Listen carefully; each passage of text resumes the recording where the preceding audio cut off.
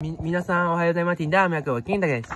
今日は、えー、スゴ技の段取ります。スゴ技の段取りは、まあ、積み上げるのはダメ。立てるのが丸でございます。はい。まあ、あとは準備が大事です。伝えることを書き出してメモを、準備、記憶の準備。まあ、優先順位ですよね。はい。まあ、細かくね、はい。まあ、ゆったりの人と体力がある人と、はい。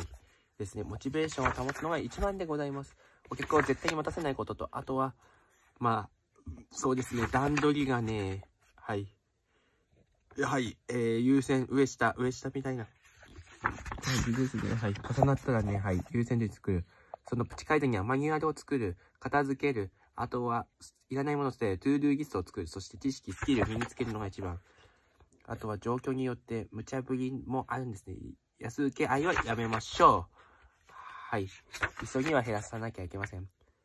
あとはまあ、隙間時間作るのが一番ですし、あとは攻撃化が大事、無駄なくです。完璧主義は正しい NG です。以上です。バイバイ。